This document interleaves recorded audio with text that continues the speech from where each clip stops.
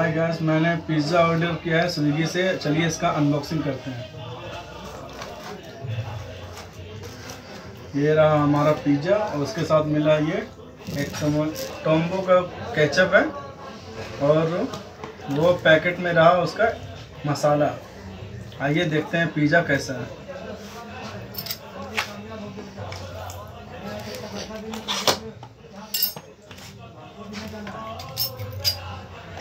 बोल, इसके बारे में बोले काफ़ी अच्छा पैकिंग किया है स्विगी वालों ने।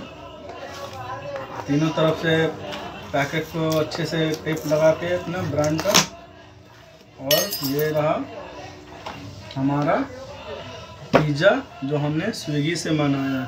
काफ़ी अच्छा लग रहा है गैस देख लो। काफ़ी चीज़ है, पनीर भी डाला हुआ है। तो अब तो इसका आप लोगों ने ऑर्डर किया कि नहीं? हम लोग खा करके टेस्ट बताते हैं कमेंट में टेस्ट ज़रूर बताना।